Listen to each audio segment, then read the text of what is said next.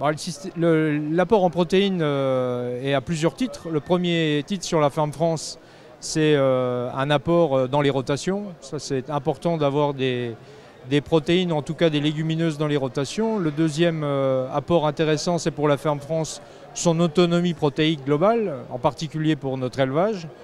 Et puis un apport important en termes de biodiversité, en termes je dirais, de développement euh, durable de nos systèmes, euh, c'est la biodiversité qu'apportent notamment euh, les plantes riches en protéines, notamment la luzerne. On est très dépendant des importations de protéines, en particulier de soja américain.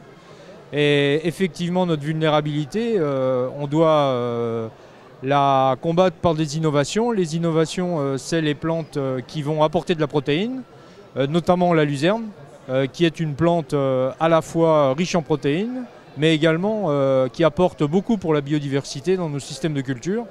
Et donc pour les régions traditionnelles, notamment du bassin parisien, la Champagne-Ardenne euh, entre autres, bah, c'est important euh, d'avoir des cultures comme la luzerne qui consolident les systèmes, qui apportent de la diversité, la durabilité aussi par rapport à, je dirais, à tous les intrants qu'on a malheureusement l'obligation d'employer.